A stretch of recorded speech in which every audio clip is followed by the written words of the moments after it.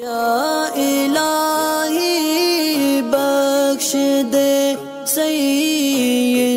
को रोज़े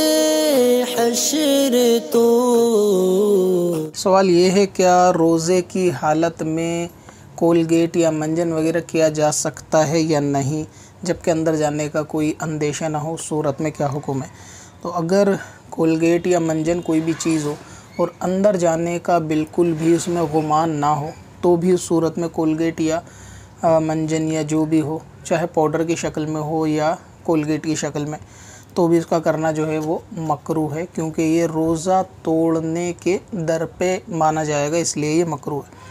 और अगर ये कि इसके झाग वगैरह और उसकी महक और इसके बारीक बारीक ज़रात जो है वो हलक में कोलगेट करते हुए फिर भी जाते हैं इसलिए बेहतर ये है कि इससे जो है ना बचना चाहिए, मिसवाक वगैरह करनी चाहिए। लेकिन रो शहरी खाने के पहले अगर कर लें शहरी के टाइम पे, कोलगेट तो ठीक है, लेकिन उठने के बाद अगर मुँह में लेकिन उठने के बाद अगर मुँह में इस तरीके का कोई मामला होता है तो खाली मिसवाक या कुल्ली या उंगली से जो है ना दांत साफ़ कर लेने चाहिए, वरना खाली ब्रश को धोने के बाद भी अगर दांतों पे फेरा जाए तो इससे भी जो है वो मुँह में थोड़ी राहत महसूस होगी।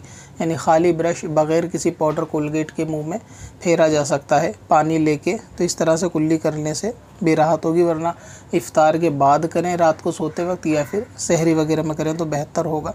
क्योंकि इसके ज़र्रात जाएँगे तो रोज़ा उससे जो है वो फिर मकरू होगा। अब अपनी ज़रूरत के लिए आसान वजीफ़ा तलाश करना हुआ और भी आसान। विज़िट करें Wazifa dot S M S Warsi dot com पर। और अपनी दीनों दुनिया की भलाई के लिए पाए ढेरों आसान वजीफे। कब से अपनी खताओं का शुमारा जाएगा?